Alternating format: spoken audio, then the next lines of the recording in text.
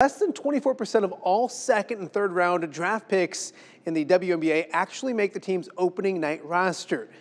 Kate Martin improved those odds this afternoon. The former Hawkeye has officially made the Las Vegas Aces, the defending WNBA champions, announcing their opening night roster this afternoon with Martin making the cut. The Edwardsville grad was the 18th overall pick in last month's draft. Went to camp with a lot of work and a lot to prove. But Martin did nothing but impress over the last few weeks. The news a little extra special here in the Quad Cities where mom and dad recently moved back to to be closer to a lot of family locally. Needless to say, Kate's dad, Matt, has plenty to be proud of. Uh, I would have never imagined.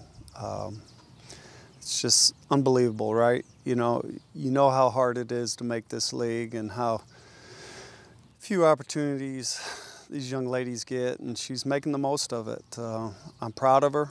Uh, she's off my uh, she's off my uh, bank account now, and uh, she's able to make a living for herself and live out a dream at the same time. You know, what a wonderful experience. She's a great teammate. She's a hard worker. She makes others better, right?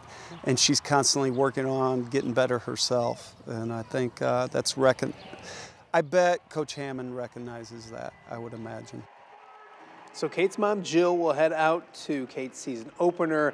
That's tomorrow night in Vegas. Dad will be watching here in the Quad Cities. He's focused on sectional track as a shot put coach over at United Township High School. And John, we just mentioned it. It's hard to make the roster in the WNBA, 144 spots in just 12 teams. So hats off to Kate Martin. All eyes will be on Vegas and Indiana, of course, coming up this week. Yeah, the math makes sense, but it's still crazy. 18th overall. Yeah, expansion soon. There we go. Think. All right, thanks, Matt.